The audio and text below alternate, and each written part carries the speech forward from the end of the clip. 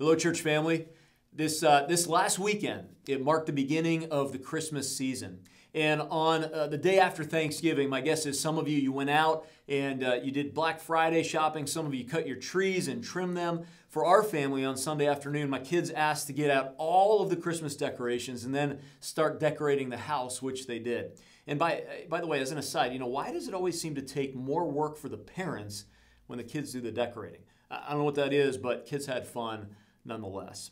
Anyhow, this truly is the most wonderful time of the year. It's, it's a time of excitement, anticipation, Christmas carols, giving, and joy. And man, don't we need that, especially this year?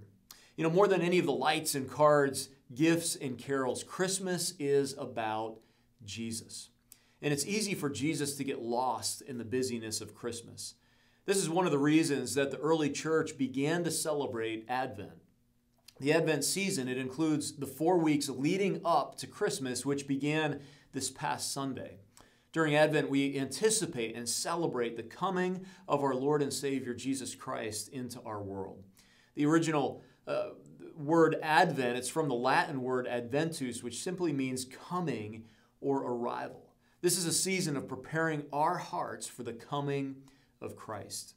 Galatians 4 4 and 5, it says, But when the fullness of the time came, God sent forth his Son, born of a woman, born under the law, so that he might redeem those un- who were under the law, that we might receive the adoption as sons.